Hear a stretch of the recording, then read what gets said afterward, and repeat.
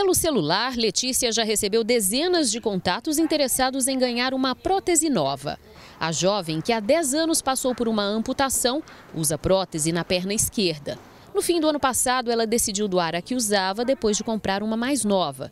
E foi quando surgiu a ideia do projeto de doação.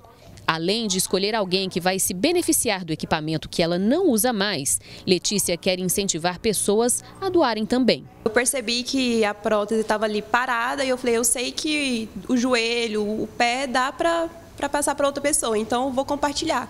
E eu falei, como eu tô com isso parado, eu sei que tem outras pessoas que também estão tá nessa mesma situação e não sabem, não têm orientação do que fazer. Então, a campanha é para incentivar a passar para frente, a doar.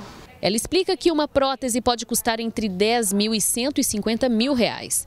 O preço varia de acordo com o material e a tecnologia usados. A dela, por exemplo, é hidráulica, o que, segundo a Letícia, amortece o peso do corpo e permite passos mais harmônicos. E é feita com aço e titânio. Quem tiver peças em casa que não usa mais pode entrar na campanha. Você compartilhar o amor, aquilo serviu para alguém por um momento, não serve mais, mas tem alguém que pode receber. A seleção dos candidatos a receber uma nova prótese que vai ser doada pela Letícia se encerra na segunda-feira. Para participar é preciso acessar o perfil dela no Instagram e seguir algumas regras que a Letícia já postou.